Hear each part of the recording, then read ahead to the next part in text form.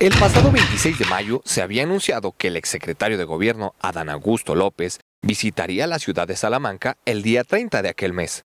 Sin embargo, no hubo tal visita. Lo esperaron con brazos abiertos, pero por cuestiones de agenda tuvo que darles las gracias y reagendar este viajecito. El día de ayer, tras su renuncia como secretario de gobernación, se ponía al día con sus actos de precampaña para asegurar el lugar en la boleta en el 2024 se había dicho que visitaría la ciudad de Salamanca, Guanajuato, este jueves 15 de junio, que llegaría al gimnasio Lázaro Cárdenas y acompañado del presidente municipal de esta ciudad, César Prieto Gallardo, hablarían con las y los salmantinos para motivarlos a seguir con el legado de Morena en el estado de Guanajuato y en la nación, pero obviamente apoyando a Dan Augusto por encima de sus compañeros competidores, Claudia Sheinbaum, Ricardo Monreal y Marcelo Ebrard.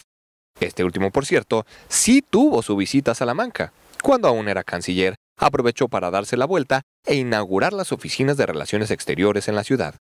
Lo que nos tiene atónitos es que, por segunda ocasión, Adán Augusto López canceló su visita al Estado, a este que tanto desea Morena.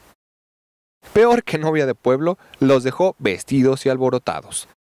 Estos salmantinos, quienes ya habían arreglado el gimnasio Lázaro Cárdenas para su llegada, pues curiosamente, se ven unas imágenes que rondan en las redes sociales, maquinaria y personal de la actual administración municipal quitando la propaganda que se había colocado para recibir al precandidato. Y es que son recursos públicos, usados para apoyar a una corcholata. Recursos públicos que coordinó y aprobó un presidente municipal, lo cual está fuera de las reglas dictadas por Morena para la elección del mero mero en las boletas del 24. No hay mucho que pensar.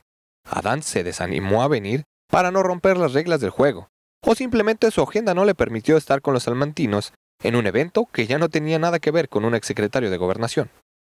Triste, el caso de una corcholata que anuncia dos veces su llegada, pero en ninguna ocasión asiste a la cita.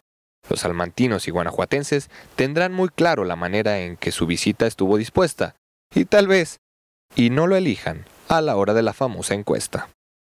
Con imágenes de Rubén González, informó para el sistema de noticias de TV Libertad, Alejandro Rangel.